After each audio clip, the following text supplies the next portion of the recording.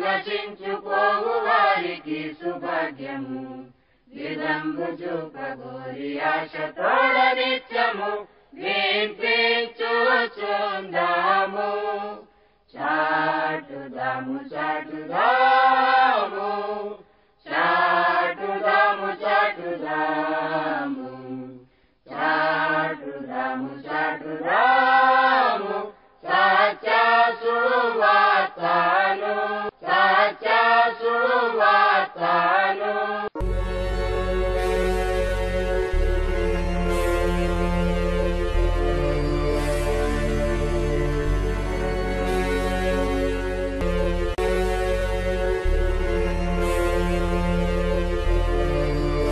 ప్రభైన యేసుక్రీస్తు యొక్క నామంలో మీ అందరకు అమలాపురం హౌసింగ్ బోర్డ్ క్రీస్తు సంఘము మరియు కాకినాడ బాపూజీ నగర్ క్రీస్తు సంఘంలో తరపున సత్య సువార్త అనే మా టీవీ ప్రసారాలకు స్వాగతం తెలియజేస్తూ ఉన్నాను. ప్రతిరోజు కూడా మరి ప్రకటింపబడుతున్న వర్తమానాలు బట్టి నేను దేవునికి స్తోత్రాలు తెలియజేస్తూ ఉన్నాను. మరి అనేక మంది చూసినటువంటి వాళ్ళు మీరు చక్కగా బోధిస్తున్నారండి. మీ ప్రసంగాలు మేము వింటున్నామని చెప్పినప్పుడు నాకు ఎంతగానో సంతోషం కలుగుతుంది. ఎందుకంటే మేము ఎది నిమిత్తమైతే ఎవరి నిమిత్తమైతే ఈ సువార్తను ప్రకటిస్తున్నామో ఆ సువార్తను వింటున్నటువంటి వారు ఆ యొక్క ఫలాలు పొందడం అది మాకెంతో సంతోషాన్ని కలిగిస్తూ ఉంది. నిజంగా వాక్యం విన్న మీరందరూ కూడా ధన్యులు. ఎందుకంటే సత్య వాక్యములు చెబుతున్నాం అనేకమైన సత్యమైన సంగతులు మీకు మేము వివరిస్తూ ఉన్నాం. కనుక మీరు వినండి సత్య సువార్త అనే మా టీవీ ఛానల్ సబ్స్క్రైబ్ చేసుకోండి యూట్యూబ్ ఛానల్ని. అదేవిధంగా ఇతరులకు కూడా ఈ ప్రోగ్రామ్ షేర్ చేయండి. ప్రార్థన చేసుకుందాం. పరలోక మందున్న మా ప్రియ తండ్రి పరిశుద్ధురా నీ పరిశుద్ధమైన నామమునకు స్తోత్రములు స్థుతులు తెలియజేస్తూ ఉన్నాను తండ్రి. మరొక వర్తమానం తెలియచేయడానికి తండ్రి నీ దాసుడు నువ్వు ఇచ్చిన కృపకాయ నీకు స్తోత్రాలు తెలియజేస్తూ మరి వాళ్ళ తండ్రి నీవు బాలుడుగా ఉన్నావా అనే అంశం మీద మాట్లాడబోతూ ఉండగా నిలబడ్డవాడిని తండ్రి నేను మాట్లాడేవాడు నీవే గనక. నీవే నాతో ఉండి మాట్లాడమని యస్సు క్రీస్తు పరిశుద్ధ నామంలో ఈ ప్రార్థన చేయించున్నాను తండ్రి. ఆ మెయిన్ ధ్యానాశయం ఏమిటి అంటే నీవింకా బాలుడుగానే ఉన్నావా? ధ్యానాష్టం అంటే దాని అర్థం ఏంటి? నువ్వు ఎదిగినటువంటి వాడు పెద్దవాడుగానే ఉన్నావు కానీ ఇంకా బాలుడుగానే ఉన్నావా? అని ఒక ప్రశ్న మార్క్ వేస్తున్నట్టు అనమాట ఇక్కడ దాని అర్థం. అందుకే నీ బాలుడు అంటే అతను నిజంగా బాలుడే అతను చిన్నవాడే. చిన్నవాడు చిన్నవానిగా ప్రవర్తిస్తాడు చిన్నవానిగా మాట్లాడుతూ ఉంటాడు చిన్నవానిగా ఆలోచిస్తూ ఉంటాడు. ఎదిగినటువంటి వాడు జ్ఞానంతో నిండుకుంటాడు గనక వివేకంతో మాట్లాడుతూ ఉంటాడు చక్కటి పనులు చేస్తూ ఉంటాడు పెద్దవారైతే. ఇంకా వృద్ధులు చూసినట్లయితే వారు ఎంతో అనుభవం గలవారు గనక వారు అనుభవాల్లోంచి అనేకమైన విషయాలు పిల్లలకు తెలియజేస్తూ ఉంటారు. కానీ ఇక్కడ పేతురు గారు రాసిన మొదటి పత్రిక రెండవ అధ్యాయం రెండవ వచనంలో కనుక మనం చూసినట్లయితే నీవింకా బాలుడుగానే ఉన్నావా? ఈ ప్రశ్న ఎవరికంటే రక్షించబడిన వారి గురించి. ఇప్పుడు చూడండి రక్షించబడి ఒక ఐదు సంవత్సరాలు పది సంవత్సరాలు పదిహేను సంవత్సరాలు కూడా అయిపోయి వాళ్ళ దేవుల్లో ఏ- ఎటువంటి ఆత్మ సంబంధంగాను ఎదగకుండా ఏదో వచ్చామా వెళ్ళామా అన్నట్టు గనక ఉన్నట్లయితే రక్షించబడినా కూడా ప్రతి వారము కూడా దేవుని యొక్క వాక్యము ప్రకటిస్తూ ఉన్నా. ఆ వాక్యము వారి హృదయాలలోకి వెళ్ళకుండా ఆ వాక్యానుసారంగా జీవించకుండా గనక ఉన్నట్లయితే అంటే పిల్లవాడు అప్పుడు ఎలా ఉన్నాడో పెద్దవాడైన తర్వాత కూడా అలాగే కనుక ఉన్నట్లయితే మనం ఏమని మాట్లాడుతాం అంటే మంద బుద్ధి అలాగనే బ్రెయిన్ మెదడు మెచ్యూర్ కాలేదని చెప్పి అంటూ ఉంటాం మనం. ఎందుకంటే పెద్దవాడైనప్పుడు కూడా పిల్లవాని వలె మాట్లాడుతున్నట్లయితే మనం అంటాం నువ్వు ఇంకా పెద్దవాడు కాలేదా? నువ్వు ఇంకా బాలుడివేనా? అని మాట్లాడుతూ ఉంటాం మనం. గనుక దైవలేఖనము ఏమని చెప్తుందంటే మనకి సపోజ్ నువ్వు ఎవరో ఒక ఒక సువార్త ప్రకటిస్తే నువ్వు విన్నావు. లేదంటే టీవీలో ప్రసంగం విన్నావు విన్నావు. నువ్వు దేవుని యొక్క మందిరానికి వచ్చావు. నువ్వు రక్షించబడ్డావు. లేదంటే స్థానిక దేవజండి ఎవరో ఒకరు నీకు సువార్తను ప్రకటించారు. నువ్వు రక్షించబడ్డావు. రక్షించబడిన తరువాత నువ్వు ఎలా ఉండాలి అంటే నిన్నటి కంటే రేపు బాగుండాలి. రేపు కంటే ఎల్లుండి బాగుండాలి. అలాగే ఒక సంవత్సరం అయిపోయింది అనుకోండి ఈ సంవత్సరంలో దేవుళ్ళను నువ్వు ఏ విధంగా ఎదిగావు నీవు? ఆత్మ సంబంధంగా ఏ విధంగా ఎదిగావు?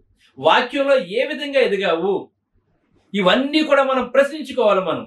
ఏదో వెళ్ళాము వచ్చాము అన్నట్టు ఉండకుండా ఆదివారం ఆరాధనకు వెళ్ళినప్పుడు అక్కడ బోధిస్తున్న సత్యమైన సంగతులు విని నీ హృదయంలో పదిలపరుచుకుని దైవజనుడు ఏ వాక్యానైతే చెబుతున్నాడో ఏ రిఫరెన్స్లు అయితే తీసి మీకు చెబుతున్నాడో ధ్యానాంశం ఏంటో ఇవన్నీ కూడా ఒక నోట్బుక్ పెట్టుకొని ఆ నోట్బుక్ మీద ఈవేళ ఇరవై నాలుగు ఐదు ఇరవై నాలుగు రెండు రెండు వేల ఇరవై రెండు ఈవేళ ఆదివారం ఈవేళ ధ్యానాంశం ఇది బైబిల్ రీడింగ్ ఇది అలాగనే రెఫరెన్స్లు ఇవి అని మనం నోట్ చేసుకోవాలి.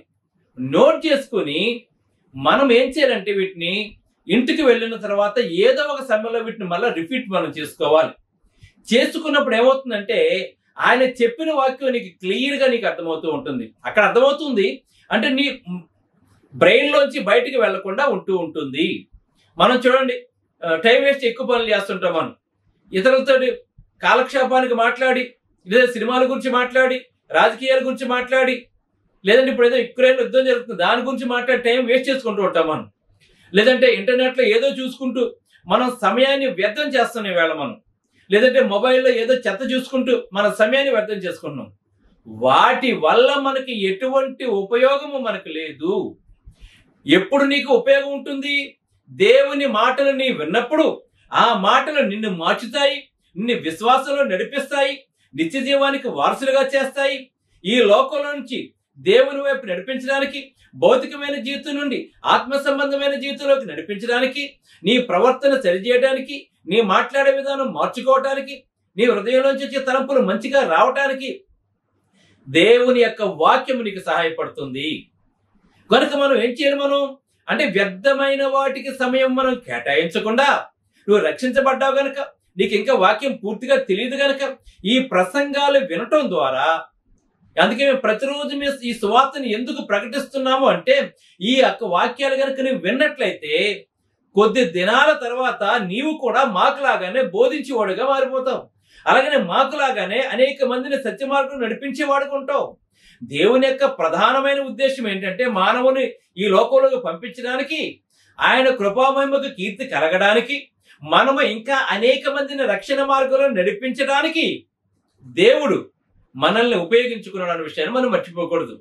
ఎవరైనా ఒకరిని దేవుని తట్టు గనక తిప్పినట్లయితే వారు ఆకాశములోని నక్షత్రాల వలె ఉంటారని దాని గ్రంథంలో రాయబడి ఉంది ఎవరు అనేకులు దేవుని వైపు అనేకులను తిప్పుదురో వారు ఆకాశంలోని నక్షత్రాల వలె ఉంటారని చెప్తున్నాడండి.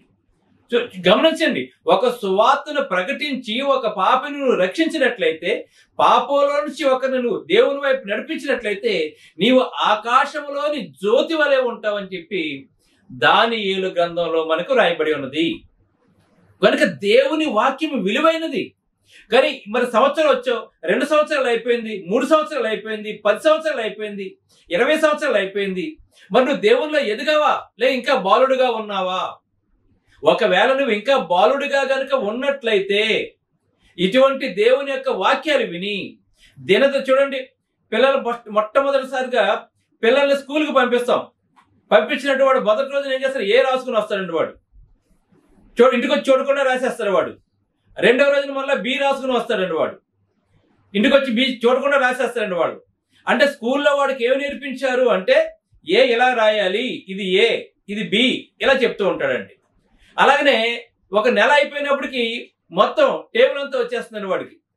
ఏ నుంచి జెడ్ వరకు చూడకుండా రాసేస్తాడు. ఇది ఏ అని చెప్తాడు ఇది బి అని చెప్తాడు సి అని చెప్తాడండి. ఎలా వస్తుంది అది? అతను ఇంప్రూవ్ చేసుకుంటాడు రోజు రోజుకి అలాగనే ఎల్కేజీ పూర్తి అయిపోతుంది యూకేజీ పూర్తి అయిపోతుంది అలాగే fifth tenth inter degree complete అయిపోతుందండి. గమనించండి. అంటే వాడు పరిణితి చెందుతున్నాడు చదువులో. అదే విధంగా రక్షించబడిన నీవు కూడా దేవుని యొక్క వాక్యంలో పరిణితి చెందుతూ ఉండాలి. మన ప్రవర్తన మారు మార్చు మార్చుకుంటూ అంటే ఏంటి? ఎలాగా? ఇంతకు ముందు మనం దేవునికి ఇష్టం లేని ఏ పనులు అయితే మనం బాప్సం పొందకుండా ఉన్నప్పుడు చేశామో వాటన్నిటిని క్రమేపి ఒక్కొక్కటి ఒక్కొక్కటి ఒక్కొక్కటి విడిచిపెట్టేసి దేవునిలో ఒక్కొక్క మెట్టు ఒక్కొక్క మెట్టు ఒక్కొక్క మెట్టు పైకి ఎదగడం మనం నేర్చుకోవాలి. అప్పుడు మనం పరిపూర్ణమైన పురుషులుగా మనం ఉంటాం. పరిపూర్ణమైన యవనస్తులుగా మనం ఉంటాం. లేదంటే ఇంకా బాలుడిగానే ఉన్నట్లుగా మనం భావించ భావించవలసిన వారమై ఉన్నాము. కనుక అందుకే పేతురు రాసిన మొదటి పత్రిక రెండవ అధ్యాయము మూడవ వచనం చూసినట్లయితే మరి ఎలాగా పరిపక్వత చెందుతారు క్రైస్తవులు రక్షించబడిన వారు అని అన్నట్లయితే నిర్మలమైన వాక్యమును పాల వలన అంటే పిల్లలు ఎదగటానికి పాలు ఏ విధంగా అయితే సహాయపడతాయో అదే విధముగా దేవుని యొక్క వాక్యము అంటే నిర్మలమైన వాక్యమును పాల వలన రక్షణ విషయంలో ఎదుగు నిమిత్తము ఆ పాలను అపేక్షించుడని స్థానిక సంఘానికి ప్రభు అయిన యేసు క్రీస్తు వారి శిష్యుడైనటువంటి పేతురు తెలియజేస్తున్నాడు. అదే విషయాన్ని నేను మీకు కూడా తెలియజేస్తున్నాను. మీరు దేవునిలో ఎదగాలి అంటే క్రీస్తులో ఎదగాలి అంటే నిర్మలమైన వాక్యమను పాల వలన మీరు రక్షణ విషయంలో దినదినము కూడా ఎదుగుతూ ఉండాలి అని ఇక్కడ తెలియజేస్తూ ఉన్నాడు. ఇక్కడ మొదటి సమూహాల గ్రంథము రెండు ఇరవై ఒకటి వచ్చిన మూడోలైన చూసినట్లయితే ఇక్కడ చూడండి. అయితే బాలుడగు సమూయేలు ఏహోవా సన్నిధిని ఉండు ఎదుగుచూ ఉండెను అని ఉందండి అన్న దేవునికి మొక్కుబడి చేసుకుంది. తండ్రి నువ్వు గనక ఒక గర్భఫలాన్ని కనుక నాకు ఇచ్చినట్లయితే నేనేం చేస్తాను అంటే ఆ బిడ్డను తీసుకొచ్చి నీ మందిని విడిచిపెట్టేస్తాను ప్రభా అంది. పాలు విడిచిన తర్వాత ఆ బిడ్డను తీసుకొచ్చి దేవుని మందిని విడిచిపెట్టేసిందండి ఆవిడ. విడిచిపెట్టేసిందండి. వెళ్ళిపోయిందండి. ఇంకా ఈ బిడ్డ దేవుని బిడ్డ దేవుని సేవలో ఎదుగుతాడు అన్నప్పుడు ఏలి జాగ్రత్తగా పెంచుతున్నాడు అతన్ని. ఇరవై ఆరు వచనం. ఈ బాలుడైన సమూయేలు ఏహోవా దయందును మనుషుల దయందును వృద్ధి చెందుతూ ఉన్నాడండి. అలాగే మనము కూడా దేవుని దయ మనుషు దయ కూడా మనకి కావాలి. ఆ సమూయేలు దినదినము కూడా ఏ విధంగా అయితే ఎదిగాడో నిజంగా చెప్పుకోవాలంటే ఏలి కంటే ఏలి దగ్గర తర్పీదు పొందిన సమూయేలు గొప్పవాడుగా ఉన్నాడండి. మీరు గమనించాలి. ఏలి ప్రధాన యాజకుడిగా ఉన్నప్పుడు సమూయేలు బాలుడు. కానీ ఏలీ ఏలి దగ్గర ఇవన్నీ కూడా నేర్చుకుని ఏలీ కంటే గొప్పవాడు అయ్యాడండి సమూయేలు. మనము కూడా అంతే. మనం వచ్చేటప్పటికి సున్నా జీరో. కానీ క్రమేపీ ఏం చేయాలి మనం? దేవునికి ఇష్టలుగా ఉండాలి అని చెప్పి ఇక్కడ దైవ లేఖనం మనకు తెలియజేస్తూ ఉంది. అదే విధముగా చూడే అపోచుల కార్యములు రెండవ అధ్యాయము ఏడవ వచనము పదకొండవ వచనము పన్నెండవ వచనం కనుక మనం చూసినట్లయితే శిష్యుల గురించి మనం చూద్దాం మనం. ఒకప్పుడు శిష్యులు ఎటువంటి వారంటే వాళ్ళు విద్య లేని పామరులు. వాళ్ళు విద్య లేని పామరులు. వాళ్ళు వాళ్ళు చాలా మంది ప్రధానమైన వృత్తి ఏంటంటే చేపలు పట్టుకోవటం. మత్తయ్య గారు అయితే ట్యాక్స్ కలెక్టర్ అండి. ఇలాగ ఒక్కొక్కళ్ళు ఒక్కొక్క వృత్తిలో ఉన్నారండి వీళ్ళు. ప్రభు అయిన యేసుక్రీస్తు వారి యొక్క శిష్యులు. అందులో ముఖ్యులైనటువంటి నలుగురు పేతులు యోహాను యాకోబు అలాగే ఆంధ్రే ఇలా కొంతమంది ముఖ్యులు ఉన్నారండి వీళ్ళు. వీళ్ళైతే సరైన ఎడ్యుకేషన్ లేదు వాళ్ళకు నాలెడ్జ్ కూడా అంతగా లేదండి వాళ్ళకి. చేపలు పట్టుకోవడం తప్ప ఏమీ కూడా తెలియదండి.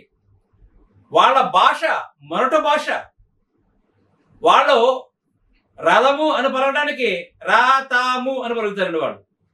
అలానే చూడండి చాలా చోట్ల పదాలు దొర్లించేస్తుంటారు. స్పష్టంగా మాట్లాడరు.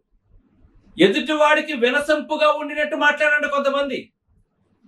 అలాగనే చాలా చోట్ల దూరంగా ఉన్నటువంటి వారు మాటలు స్పష్టంగా ఉండబడ్డ వాళ్ళవి. ఏదో అక్షరాన్ని మింగేస్తూ వచ్చినట్టుగా మాట్లాడుతూ ఉంటారండి. అంటే ఒక పల్లెటూరి లాంగ్వేజ్లో ఒక యాసలో అర్థం కాకుండా మాట్లాడుతూ ఉంటారండి వాళ్ళు. ఇటువంటి లాంగ్వేజ్ అండి పేతుడిది యోహానులది. అయితే యేసుక్రీస్తు శిష్యులైన తర్వాత వాళ్ళ పరిశుద్ధాత్మలో బాప్తిసం పొందిన తర్వాత ప్రభు అయిన యేసుక్రీస్తు వారు ఏ పని అయితే చెప్పారో ఆ పని మొదలుపెట్టిన తర్వాత వాళ్ళ భాష మారిపోయిందండి వాళ్ళది. వాళ్ళు ఇప్పుడు ఎలా మాట్లాడతారో తెలుసు? ఇంతకు ముందు శాస్త్రులు పరిచయులు ప్రధాన యాజకులే చాలా స్పష్టంగా ధర్మశాస్త్రాన్ని ఔపవసన పట్టు పట్టిన వారు గనక. ఏమండి? అనర్గలంగా ధర్మశాస్త్రంలో ఒక్కొక్క గ్రంథం చెప్పండి కళ్ళు మూసుకుని చెప్పేస్తారండి వాళ్ళు.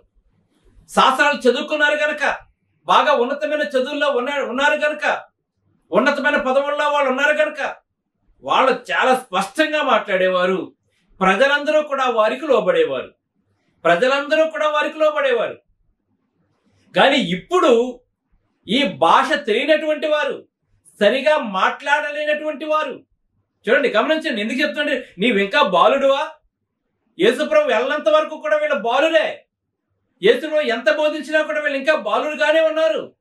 కానీ యేసుప్రభు వారు తండ్రి పరలోకానికి ఆరోహణమై తండ్రి కృపాశను ఆశీనుడైన తర్వాత ఆయన ఆదరణకర్తను పంపించిన తర్వాత వీళ్ళ భాష వీళ్ళ మాట్లాడే విధానము శాస్త్రులు పరిచయలు ప్రధాన యాజకుల కంటే అధికంగా ఉందండి ఇప్పుడు. వాళ్ళ జ్ఞానము కంటే వీళ్ళ జ్ఞానము అధికముగా ఉందండి ఇది. ఎదగడం. దీనిని ఎదగడం అంటారండి. ఒకప్పుడు నువ్వు ఎటు నువ్వు ఎటువంటి వాడు? ఇప్పుడు నువ్వు ఎటువంటి వాడు? కారణం ఏంటి? చూద్దాం చూడండి. ఇక్కడ అపోసుల కార్య రెండవ అధ్యాయము ఏడవ వచనము పదకొండవ వచనము పన్నెండవ వచనం చూసినట్లయితే పన్నెండు మంది అపోస్తులు పెంతుకోస్తనే పండగ రోజున వాళ్ళు మాట్లాడుతూ ఉంటే ఆకాశం కింద ఉన్నటువంటి యూదులందరూ వాళ్ళ వీళ్ళ మాటలకు ఆశ్చర్యపోయారండి వాళ్ళు. ఆశ్చర్యపోయి వాళ్ళు ఏమన్నారు అంటే చూడండి మాటలాడుచున్న వీరందరూ గలిలీయురు కారా అన్నాడండి అంటే ఏంటి అర్థం? గలిలీల భాష ఎలాగుండదు? గలలీలకి ఈ ఈ పాండిత్యం లేదు. గలలీలకి ఈ జ్ఞానం లేదు. వారు అరకొర మాటలు మాట్లాడుతూ ఉంటారు. వాళ్ళ లాంగ్వేజ్ డిఫరెంట్గా ఉంటుంది. మనం కొన్ని కొన్ని కొన్ని కొన్ని లాంగ్వేజ్లు కనుక మనం చూసినట్లయితే తోలుకుపో అంటాడండి వాళ్ళు. మనం ఇక్కడ దోళ్ళని వాళ్ళని తోలుకుపోమని అంటాం మనం. కానీ ఒక మనిషిని తోలుకుపోమని వేరే చోట మాట్లాడుతూ ఉంటారండి వాళ్ళు.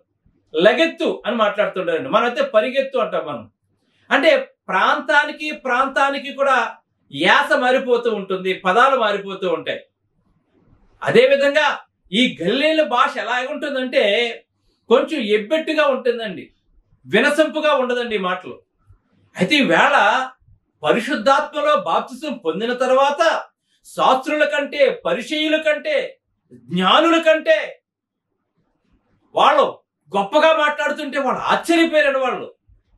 వీరు గలిలీలు కారా?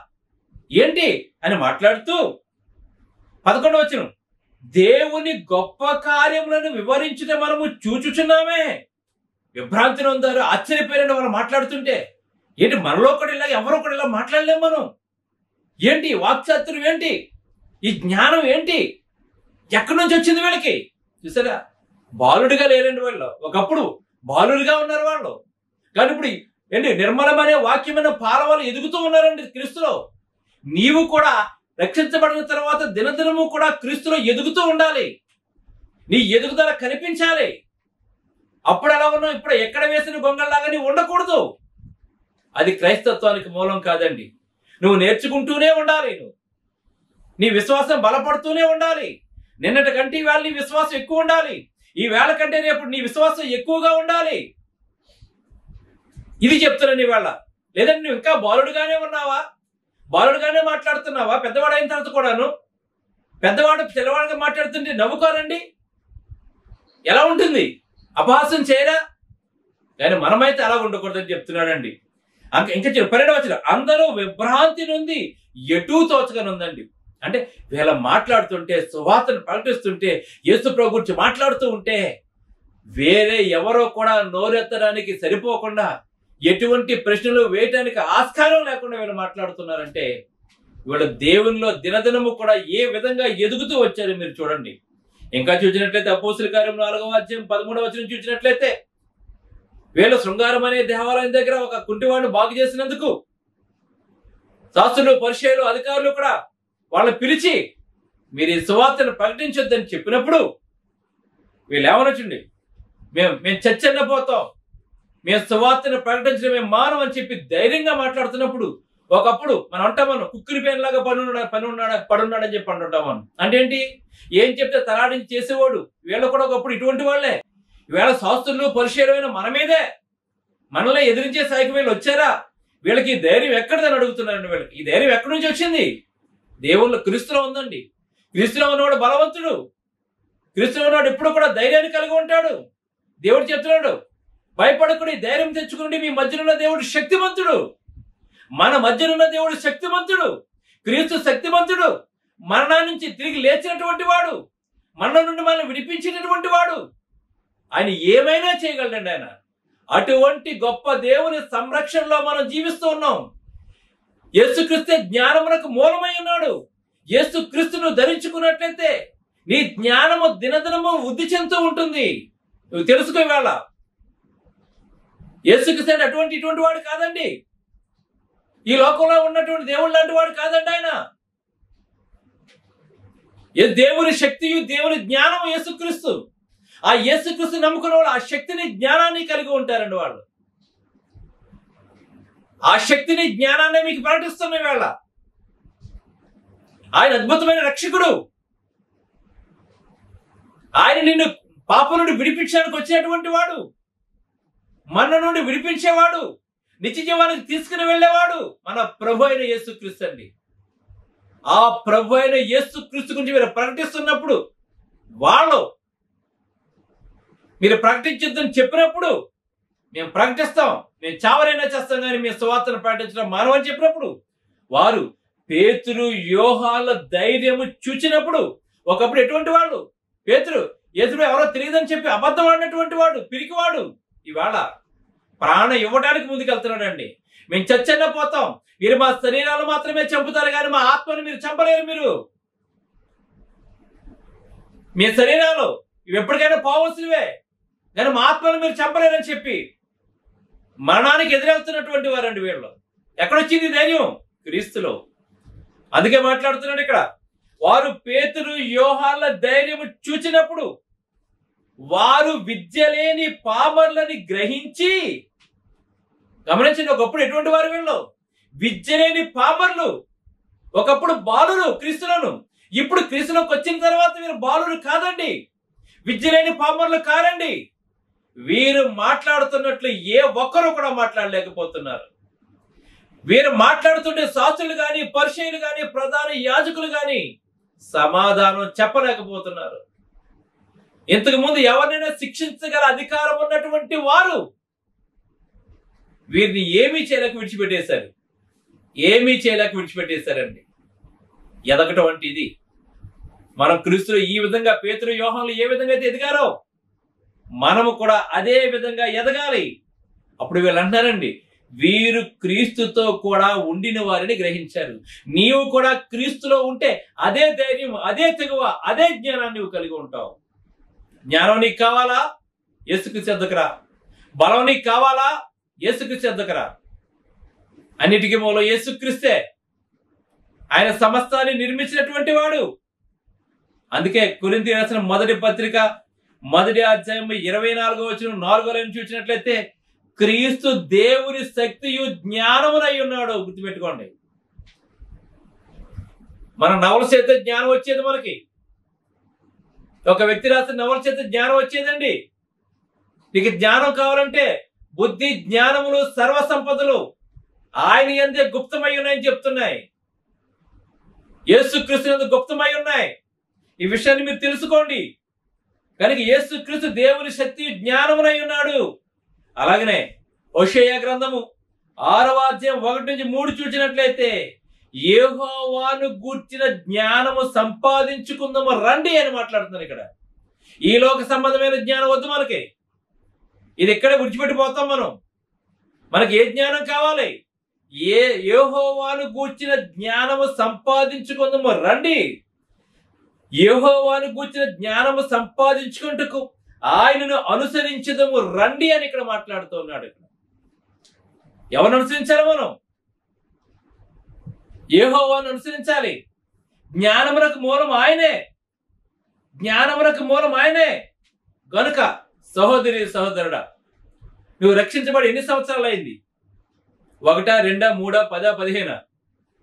అప్పుడు నువ్వు ఎలా ఉన్నావు క్రీస్తులో? ఇప్పుడు నువ్వు ఎలా ఉన్నావు? అప్పుడు నీ విశ్వాసం ఏంటి? ఇప్పుడు నీ విశ్వాసం ఏంటి? అప్పుడు నీ వాక్చాతుర్యం ఏంటి? ఇప్పుడు నీ వాక్చాతుర్యం ఏంటి? అప్పుడు ప్రతి ఆదివారం వచ్చేసి ఇంటికి వెళ్ళిపోయింది ఇప్పుడు కూడా అదే విధంగా వచ్చి వెళ్ళిపోతుంది అదేనా జీవితము. నువ్వు ఏసు క్రీస్తు గురించి ప్రకటించవా?